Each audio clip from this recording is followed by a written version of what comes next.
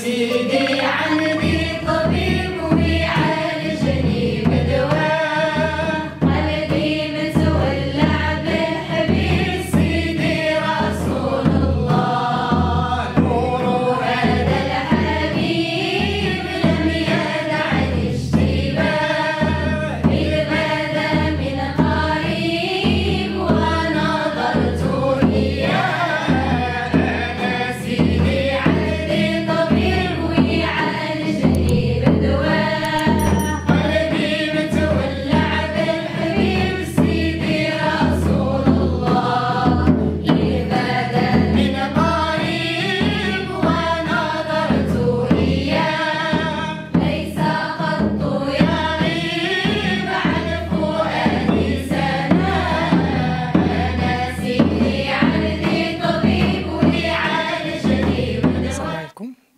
محمد رئيس جمعية نخبة الشباب الوطنية للمديح والسماع بالمغرب فرع القصر الكبير ومقيم هنا بمدينة طنجة.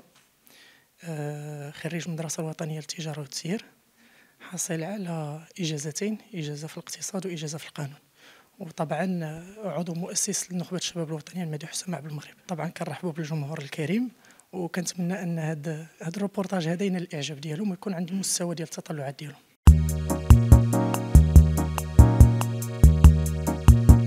الفكرة ديال أنني نبدأ هذا الورش. في الأول كنت بديته في المؤسسات التعليمية وكنت كنديرو ملي كنت كنقرأ. فكنا دائما كنجلسوا كنفكروا شنو غنديروا في المناسبات الأعياد الدينية والوطنية. كنا كنجلسوا مجموعة ديال التلاميذ ديك الساعة باقيين تلاميذ. كنحفظوا مع بعضياتنا شوية ديال الأمداح شوية ديال الطرب الأندلسي وكنا كنأديوه. فمن ثم بقات دائما عندي هاد هاد المسألة ديال أنني نحفظ الناشئه نحفظ للناس هذا التراث هذا.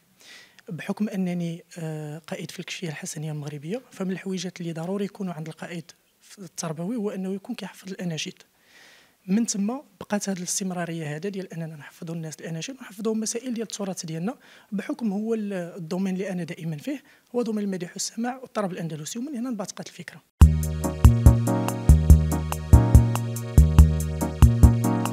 أننا نحافظوا على هذا الموروث الثقافي ديالنا اللامادي.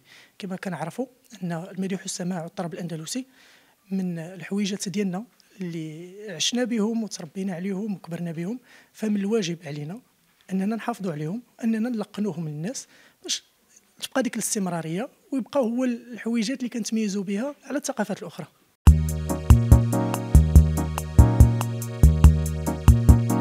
الحمد لله اللي لقينا في هذه السنوات الأخيرة هو انه أنه كاين إقبال كبير خصوصا من الشريحة ديال الشباب.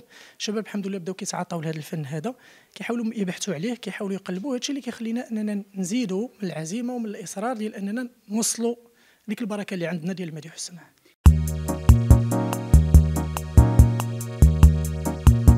هو علاش كيتسمى كورال؟ علاش؟ حيت الناس اللي ما عندهمش الصوت وما قادرينش أنهم يأديوا بوحدهم. والناس اللي عندهم الصوت وما كيكونوش عندهم فرصة فين أنهم يبانوا. كيتجمعوا كيعطيونا واحد الخليط اللي هو متجانس ملي كنسمعوهم كاملين كنسمعوا أصوات اللي هي رائعة. يعني ماشي بالضرورة يكون عندي صوت زوين باش نقدر أنني نشارك في الكورال.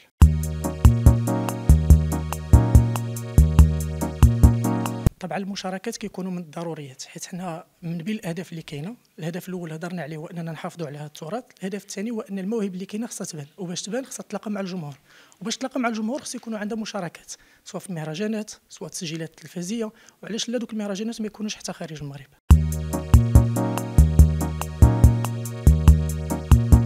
هو في الحقيقة كل ما هو تراثي كيعجبني. طبعا هذه هذه موهبة وكتعجبني وكنلقى ذاتي فيها. وبالتالي أي حاجة عندها علاقة بالتراث المغربي الأصيل كنحاول أنني نكون دائما فيها ونعطي صورة زوينة على هذا التراث وعلى هذا الفن هذا للناس كاملين اللي كيتبعوني.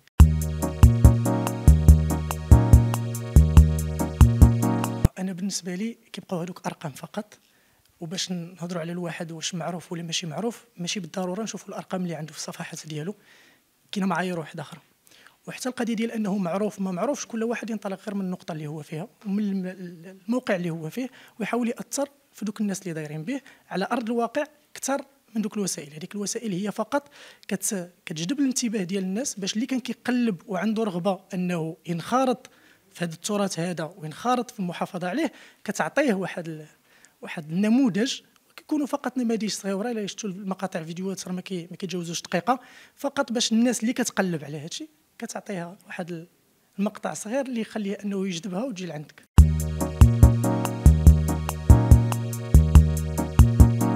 طبعا كنبغي نشكركم بعد هذه أول حاجة كنشكر موقع مدار 21 على هذه الاستضافة هذه وعلى هذه التغطية الإعلامية. كنشكرهم حيت هما غيساهموا معنا باش نحافظوا على هذا التراث هذا. كنشكر المحبين والولوعين بهذا بهذا الفن هذا ومن خلالهم الجمهور كامل حيت كاينة مجموعة الناس اللي ما عندهمش فكرة على هذا الفن هذا. هذه فرصة باش أنها أنهم يشوفوا هذا الشيء ويزيدوا يتقربوا يتقربوا عندنا ويجوا عن قرب وعن كتب يشوفوا الحصص ديالنا كيفاش كدوز. تبارك الله عليك. أمينة أخري فلاروسي نائبة رئيس جمعية شباب جيل الخامس للتنمية والتكوين آه، مستفيدة من ورش المديح والسماع تحت تأطير الأستاذ محمد بن كيران. آه، إذا الجمعية تبنات هذا الورش آه، في بداية شهر أكتوبر. تحقيقا لأحد أهداف الجمعية خصوصا أن مدينة طنجة شبه نقولوا خالية من بحال هاد الورشات هادو اللي كيساهموا في التشبث والاعتزاز بالهوية الوطنية والثقافية والحضارية أيضا. وهي فرصة لنا كشباب مدينة طنجة أننا نجيو آه، نشحنوا راسنا بواحد الإنرجي جديدة اللي نكملوا بها الأسبوع ديالنا. وكتكون واحد اللمة ربانية بين آه، البنات. باقي للأسف آه، العنصر الذكوري متغيب. لكن الحمد لله شويش بشويش. وإن شاء الله يا ربي كنتمنوا أن هذا الورش ما يكونش محدود فقط في مدينة طنجة لأن دابا كاين في قصر كبير مع أستاذ بن كيران كنا كنشوفوه كنت كنشوف الورش ديالو في قصر كبير وكنت كنتمنى فوقاش يكون عندنا هنا في مدينة طنجة. ومن حسن الحظ أن الجمعية ديالنا اللي تبناتو وإن شاء الله تعالى نتمنوا يكون في المغرب كامل ماشي غير على صعيد الجهة فقط.